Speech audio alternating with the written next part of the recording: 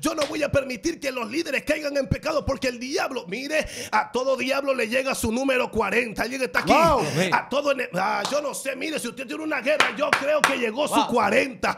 Dios te bendiga, Dios te guarde. Bienvenido a este tu canal, Excelencia Cristiana Televisión. El video que verás a continuación será una herramienta de parte de Dios para transformar tu vida y tu corazón. Así que si aún no lo has hecho, quiero invitarte a que te suscribas, actives la campanita de notificaciones, déjanos tu comentario y dale me gusta.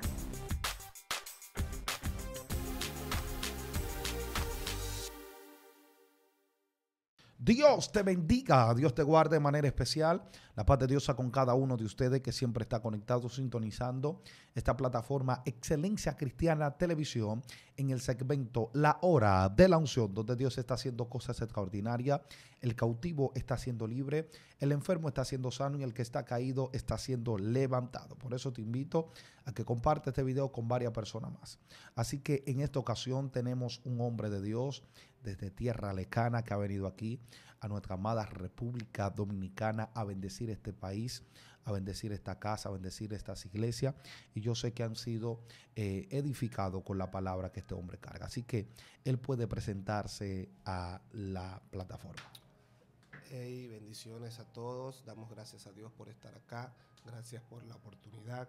Dios ha sido más que bueno y creo que esto es un tiempo poderoso en Dios. Respondo al nombre de Felipe Chacín, venimos desde Guayaquil, la nación Ecuador, nos congregamos en la iglesia Visión y Reino, pastoreada por el profeta Tony Candela y es una bendición estar en este lugar. Amén, amén, ungido Felipe, Dios te bendiga de manera especial, es una bendición Ecuador, eh, ha sido una de las tierras que han recibido eh, los ministerios de República Dominicana para que continúen eh, entrando en expansión. Así que, amado, como siempre, nunca estoy solo sino que estoy acompañado de un hermano, un amigo, un profeta, nuestro hermano profeta Christopher Aquino. Amén, amén. Dios te bendiga, Venancio. Bendigo al ministro que viene de Tierra Lejana a compartir una palabra aquí en República Dominicana.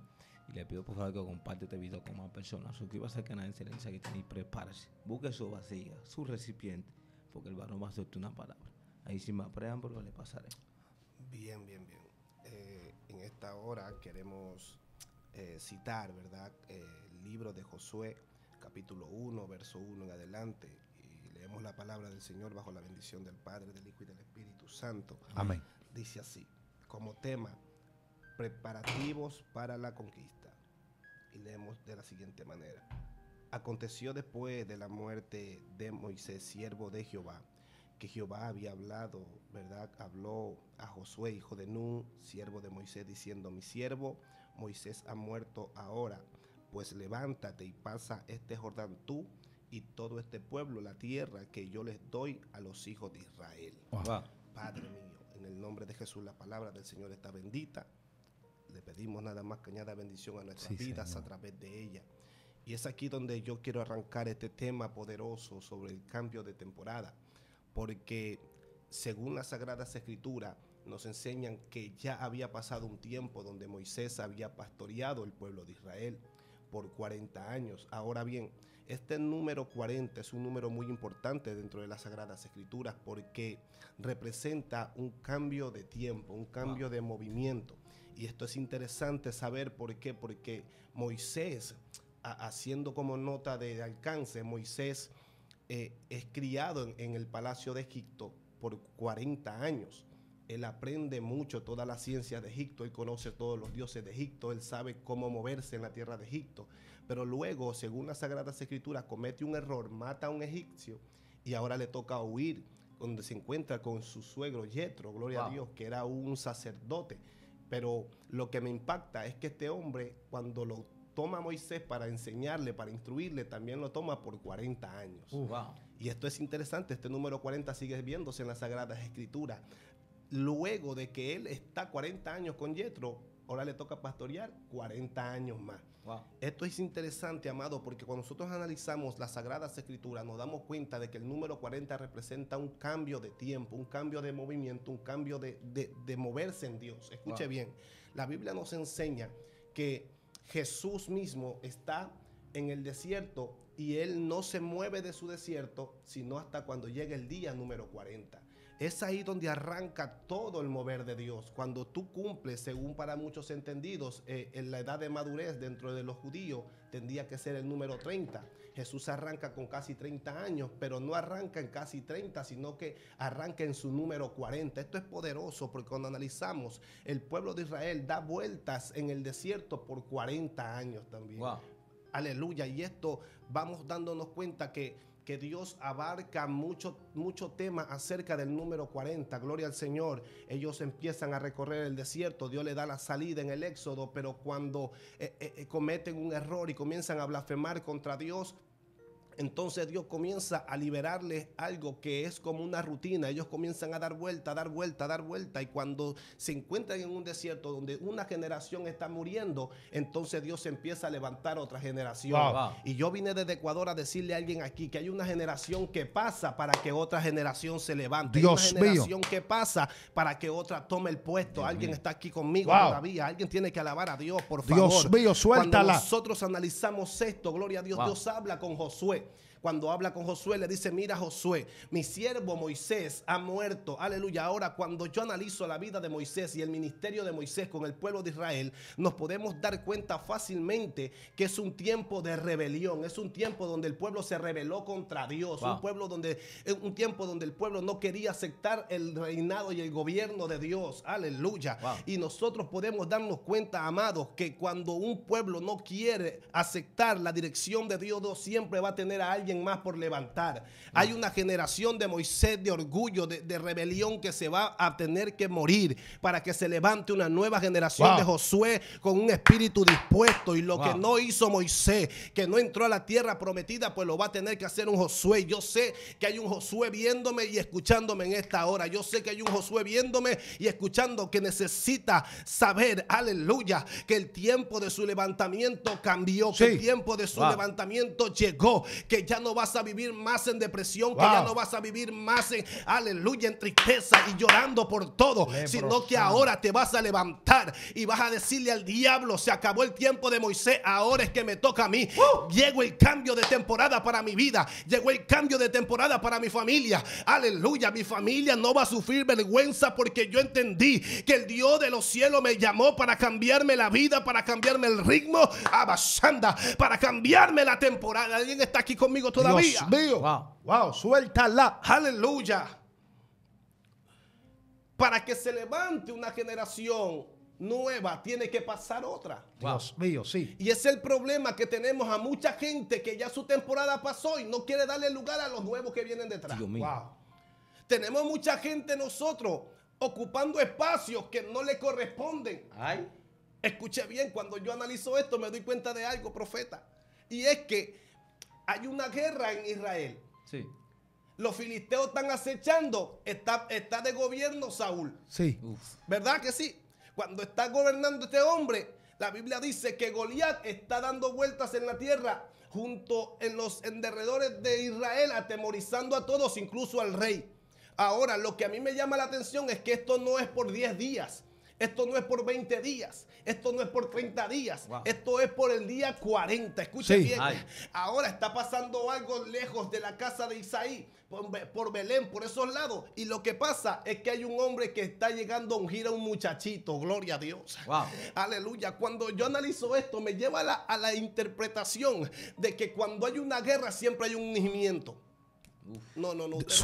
no, no, Dame de eso, varón. Dame de eso. Aleluya. Siempre que hay una guerra, Dios está dispuesto a levantar a un muchachito por ahí a ese menospreciado, a ese que lo tienen aislado, a ese que nadie le da un like en Facebook ni en YouTube, aleluya, a ese que no lo siguen, a ese Dios se está ungiendo. Así que los que están ahora en eminencia tienen que prepararse porque viene una generación de muchachitos por ahí que están ah, wow, Dios mío. Hay, hay, una generación que viene detrás, aleluya. Y yo hablaba con Dios sobre esto y Dios me decía, ve y dile a la gente que hay un montón de hombres que están ocupando espacios que ya no le corresponden. Hay un montón de hombres que están sentados sentado en buena silla, gobernando, pero ese espacio le corresponde a uno que yo ungí conforme a mi corazón.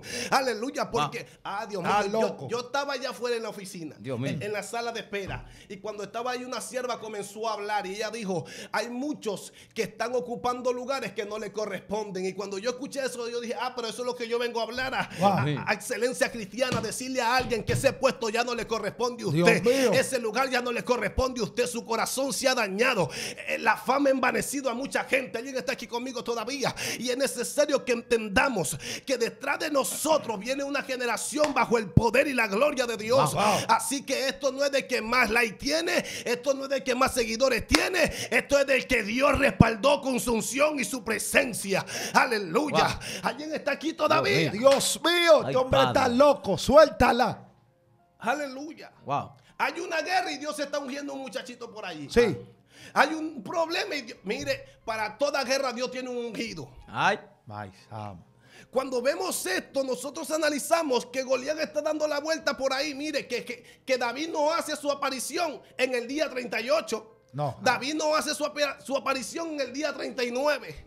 Muchas cosas tuvieron que pasarle a David, aleluya, para que David aparezca en el día 40.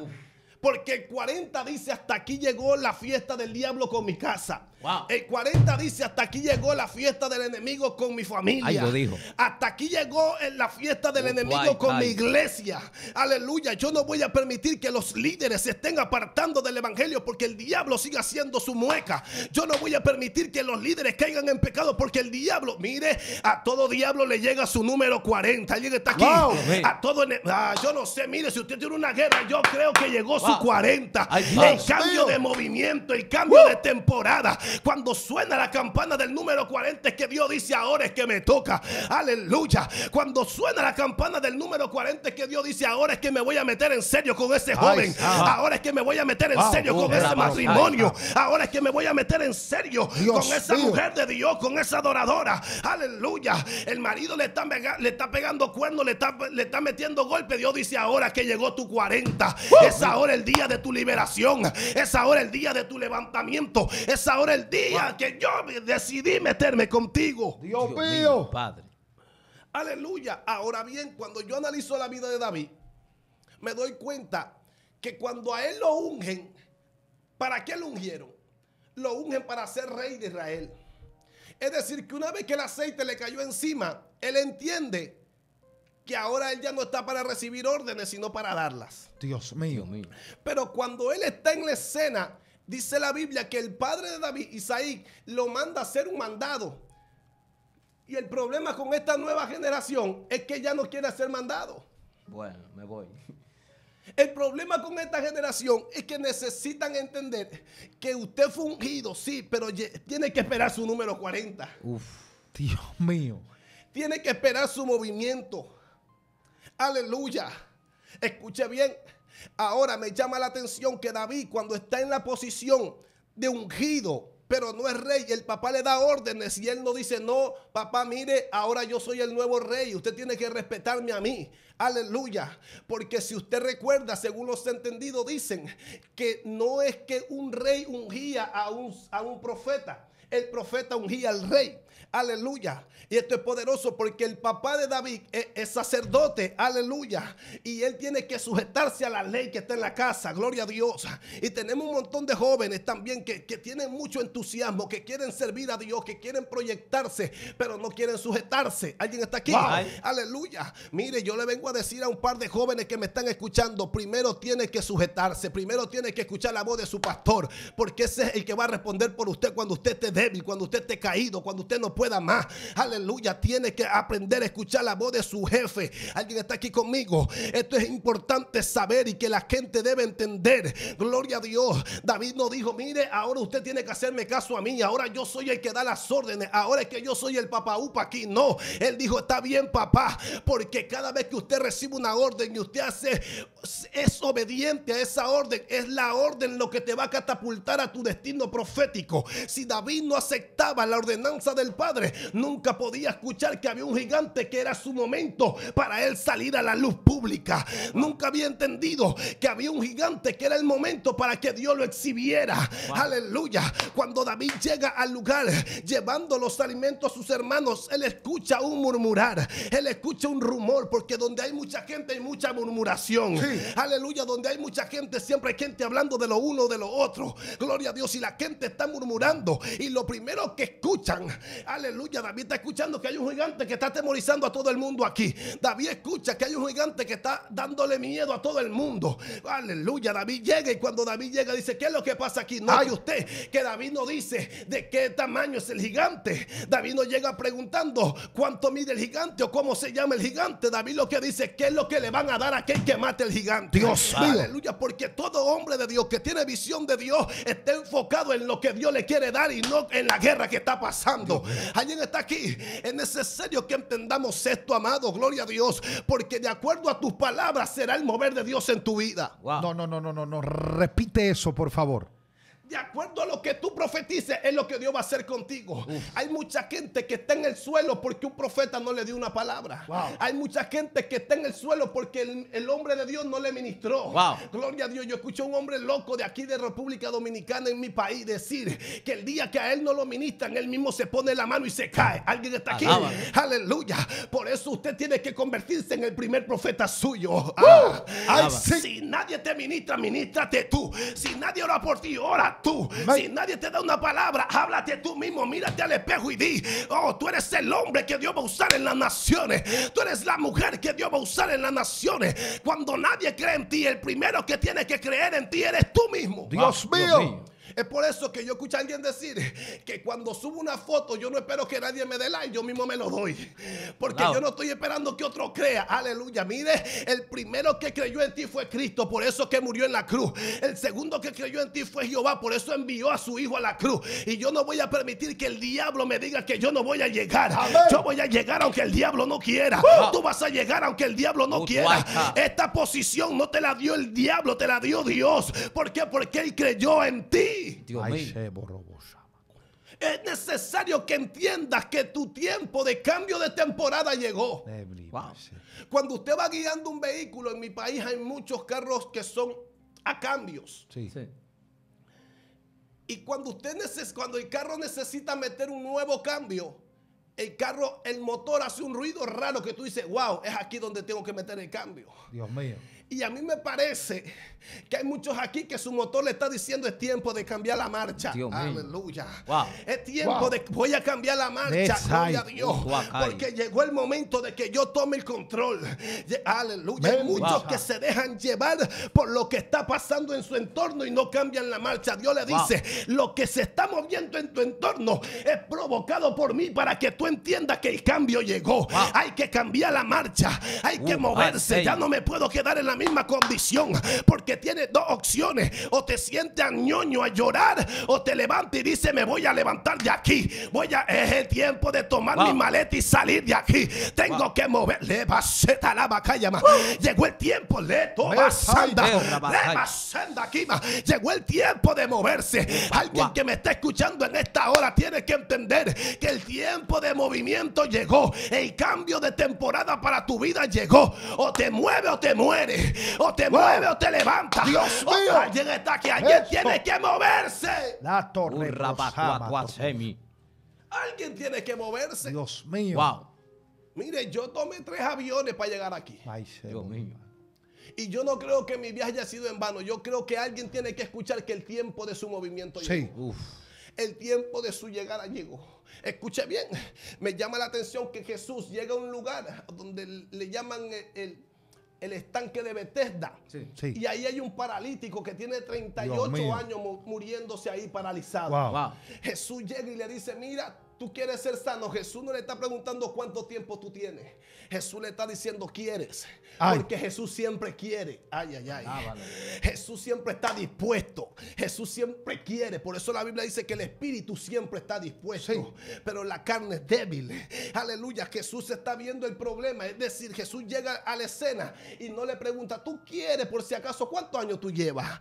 Ah, no, él está diciendo, el momento de tu milagro llegó. Ya tú no tienes que esperar que un ángel descienda y mueva el estanque. No, no, no. El dueño de los ángeles apareció en la Wow. escena. Ya tú no tienes que esperar que un ministro te ore. No, no, no. Eso. Tú tienes al dueño de los ángeles, el dueño de los estanques, el Wow. dueño del movimiento, el dueño de las aguas.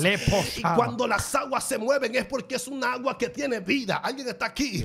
Aleluya. Es por eso que la Biblia dice en el Salmo 42, como el siervo brama por las corrientes de las aguas. No dice en el estanque, dice en las corrientes. Ay. Porque toda agua que tiene corriente es un agua donde hay vida, donde hay peces, donde hay movimiento. Y todo lo que está en movimiento es algo que está vivo. Aleluya.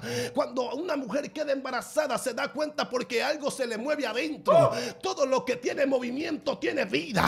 Y yo vine a hablar con alguien aquí que sabe que hay algo por dentro de ellos que no ha dejado de moverse. Leprosama. Que cuando tú has querido renunciar se te está moviendo adentro. Que cuando tú has querido dejarlo todo se te está moviendo Oh, adentro. Que cuando tú has querido soltar a todo el mundo en banda, se te está moviendo algo adentro que te dice no abandones, no suelte que Ay. llegó tu tiempo de movimiento, llegó tu cambio. Alguien tiene que empezar a cambiar aquí. mío. Alguien tiene que empezar a moverse. Alguien tiene que soltar a todo el mundo y decir voy a moverme Voy. porque yo no me voy a quedar como el Ay, resto. Hay una generación que murió en el desierto sin ver Canaán. Yo fui diseñado para entrar a la tierra prometida. Yo voy a entrar a la tierra aunque la gente no quiera. Voy a entrar a Canaán aunque Ah, el diablo cosa. no quiera. Que se explote el diablo y los demonios. Vamos a llegar donde Dios. Ay, ay, ay. Ultra Vamos a llegar donde Dios dijo. Alguien está aquí. Vamos a llegar. Yo quiero que usted le diga a alguien que tiene a su lado, por favor, usted que nos está viendo aquí, tóquele a alguien, agárrelo del brazo y dígale, vamos a llegar aunque el diablo no quiera. Vamos a llegar porque llegó mi tiempo de movimiento. Dios mío, esto está mío. serio. Llegó el tiempo de moverse. Llegó el tiempo de alcanzarlo. Wow, sí. Dios mío. Ya una generación pasó y la Biblia dice que generación van y generación vienen. Dios mío. Y yo siento que llegó mi generación. Wow. Y yo me voy a levantar por mi generación. Y yo voy a hacerlo por mi generación. Porque usted y yo estamos puestos aquí para Ay, darle un oh, ejemplo a una God. generación que viene detrás. Amén. Hay alguien que te está siguiendo, Venancio. Hay alguien, profeta, que Wow. te está vinando Wow. cuando tú caminas. Hay alguien que está viendo cómo tú agarras el micrófono. Hay alguien que está viendo cómo tú te prendes en una tarima. Wow. Hay alguien que está siguiendo tu pisada. Y la Biblia dice, sé ejemplo de los creyentes. Alguien debe recibir esta palabra. Alguien te está mirando, no abandones. Que si tú abandonas, muchos van a abandonar. Pero si tú te plantas y estableces tu reinado en Dios, tú vas a entender que esa generación no va a caer. Esa generación no va a morir. Esa generación se va a levantar porque te vieron a ti. Aleluya. Entonces Dios habla con Josué y le dice, mira, mi siervo ha muerto, pero ahora es que te toca a ti. Wow. Tú has estado de cerca, tú lo has visto cómo él se mueve. Entonces tú tienes que moverte así. Porque como estuve con Moisés, estaré contigo. Abashanda, Nosotros tenemos gente que admiramos. Y Dios nos está diciendo, como estuve con ellos, estaré contigo. Pero tienes que hacer como yo te diga. Tienes que moverte como tú viste a los siervos. de Shanda. reprobado. Y yo sé que esta es una radio, aleluya, donde mucha gente lo ve. Y sé también que el amado apóstol Juan Carlos Carrigan eh, eh, eh, es motivo para muchos inspirarse. Y Dios le dice a alguien así como estoy con él, voy a estar contigo. Wow. Es necesario que tú entiendas que esto no fue una coincidencia, sino que fue parte de mi plan Dios y mío. parte de mi propósito. Dice Dios, yo Wow. no improviso. Todo estaba escrito guay. en mis libros. Cuando mis, tu embrión brillieron mis ojos. Aleluya. El salmista dice, y en tus libros estaban escritas todas estas cosas. En tu libro estaban escritas todas estas manifestaciones. En otra versión dice en tus libros estaban todos los códigos sin descifrarse que tú descifrarías. Y me parece que hay una revelación poderosa aquí. Porque Dios dice todos esos códigos genéticos están dentro de ti. Y lo voy a hacer contigo aunque los demás no quieran. Lo voy a hacer contigo aunque el sistema no quiera.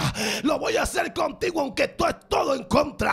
Lo voy a hacer contigo. Dios mío, Padre. Wow. Es necesario entender eso.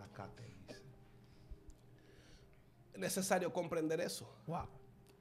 Porque estoy bien seguro que el cambio de temporada le llegó a alguien. Y usted no se puede quedar en la misma condición. Yo le dije ahora que usted tiene dos opciones. Se queda llorando o se levanta. Esto es para guerreros. Esto es para gente de Dios. Aleluya. Y la gente de Dios no es ñoña, la gente de Dios no es engreída. La gente de Dios se levanta y dice, mira, yo vine aquí para pelear y voy a pelear por lo mío. Yo vine aquí para hacerlo y lo voy a hacer eh, por encima de lo que sea. Porque si hay algo que a mí me tiene de pie hasta el día de hoy es una palabra que recibí en mi inicio. Aleluya. Y Dios me dijo, te voy a llevar a lugares. Te voy a usar aunque la gente no cree en ti. Aleluya. Por eso es que usted tiene que entender que el cambio de temporada le llega a todo hombre y a toda mujer de Dios. El cambio de temporada le llega a todo hombre y a toda mujer que cree que Dios lo puede hacer. Y cuando yo digo que en sus libros estaban escritas todas estas cosas, la Biblia dice que estaban escritas y que Dios las haría sin que falte ninguna de ellas. Aleluya. Es decir, que todo lo que Dios profetizó de ti, eso se va a cumplir. Amén. Todo lo que Dios profetizó de tu familia, eso se va a cumplir. Todo lo que Dios profetizó de tu ciudad, eso se va a cumplir cumplir. Aleluya. Y yo siento en mi espíritu que hay hombre de Dios que Dios va a levantar fuertemente en esta ciudad. Aleluya. Para gloria de Dios. Mi alma adora al Cordero.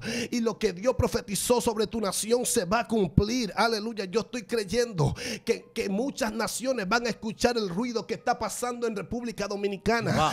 Y estoy creyendo que muchas naciones van a escuchar del ruido que está ocurriendo en Ecuador. Aleluya. Yo estoy creyendo que en tu nación se va a mover un río de vida. Aleluya. Y va a escucharse un río. Alguien está aquí que, que, van a decir algo está pasando en esa nación. Hay que movernos para esa nación. Porque hay un mover que no es del diablo, sino de Dios. Hay un mover que no es humano, sino del Espíritu. Porque estamos cansados de movimientos humanos. Queremos el movimiento de Dios. Queremos el movimiento del río de Dios. Queremos que el río de Dios se lleve lo que no tiene que estar aquí. Queremos que el río de Dios abasanda. Me parece que hay un tiempo tiempo de limpieza. Dios dice, hay un cambio porque voy a limpiar la generación. Ah, voy a limpiar esta tierra. Voy a limpiar la generación porque necesita levantarse una generación con temor. Una generación, alguien que ame a Dios. Una generación, una generación que esté decidida por mí. Wow. Es revoco semibione. Oh, gloria. Dice Dios, hay un cambio de temporada. Porque llegó su número 40. Dios habla con Josué, le dice, mira, solamente te voy a decir una cosa. Esfuérzate y sé valiente. Luego le dice, quiero que tengas fuerza y que seas muy valiente. Luego le vuelve a decir, yo quiero que tú seas valiente. yo decía, Señor, pero ¿por qué otra vez se le menciona que sea valiente? Sí, porque esto no es para cobarde. Esto es para gente valiente. Ahora bien, muchos de nosotros en algún momento nos hemos sentido acobardados por una situación. Y yo le decía, Señor, pero si tú dices que yo soy valiente, ¿por qué entonces yo siento miedo a veces? Y Dios me dijo, lo que pasa es que tú ves tu humanidad y yo veo lo que yo te puse adentro. wow. El ángel de Jehová se le aparece a Gedeón y le dice, varón esforzado y valiente. Y Gedeón lo que tiene es, mucho miedo. Él está temblando porque los madianitas están dando vueltas por ahí. Y, yo quiero ver a, Gedeón escondido por ahí diciendo, pero ¿por qué me dijo a mí que yo soy valiente? Si yo lo que soy e, es un cobarde, yo tengo miedo. Aleluya. Lo que pasa es que Dios siempre va a ver tu diseño del cielo. Él no va a ver tu humanidad porque tu humanidad se corrompe. Aleluya. Y Dios le vino a decir, este cambio de temporada es para alguien que entienda que su diseño del cielo no va de acuerdo al diseño de la tierra. El diseño de la tierra se echa a perder, pero el del cielo permanece.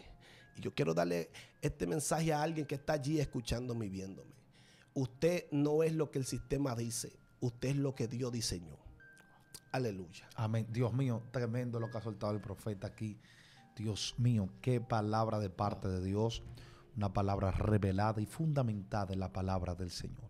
Inspirada por el Espíritu Santo y sazonada por la gloria la unción. Amado, espero en el Señor que así mismo como prospera tu alma, pueda prosperar todo lo que emprenda y todo lo que haga en el Señor. Lo que te queda de trayecto aquí en, RD, Dios continúa haciendo cosas extraordinarias con tu casa, tu familia. Cuide tu, tu, esposa, tu, tu, tu, gente, tu descendencia, tu iglesia. Dios mío. Tremendo lo que Dios ha hecho. Créalo, hermano, que eh, hemos sido bendecidos. Hemos sido bendecidos con esta palabra. Eh, tenemos diversidad de, de, predicadores, escuchamos muchas personas. Pero esta palabra, esta palabra ha impactado nuestro espíritu. Yo sé que el de usted también.